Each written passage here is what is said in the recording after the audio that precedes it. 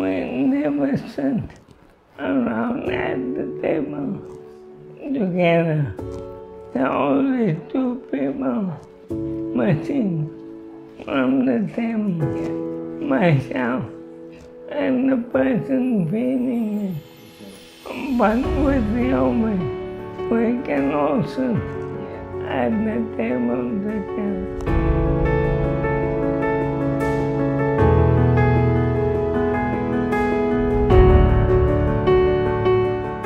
We've had the Obi, it has made such a difference, us being able to all sit at the table at the same time and chat and Kemal sitting independently and have something feed him um, was just absolutely um, a godsend because it, it gave us all an opportunity to spend meal time together than being detached from one another.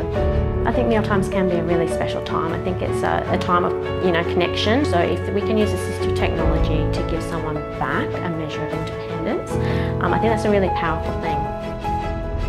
It removes the guilt of you know taking someone time Between that, the Obi and the eye gaze has definitely given him a lot more independence.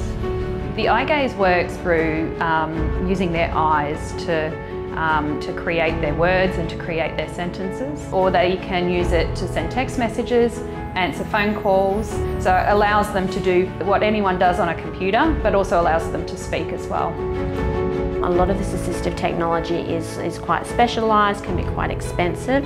So it's really about ensuring that you get the right fit between the equipment and the person. We love assistive technology, we love home modifications, and that's really the area that Mater at Home really, I think, excels in. They've just been fabulous, ensuring that Kemal is comfortable, assessing what he needs. That's where it's really rewarding in our roles, where we can come and we can see how effective our treatments are.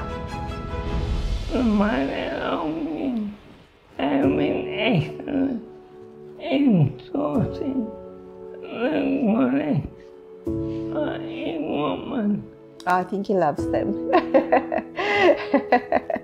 Oh, Daddy. They're his favorite people.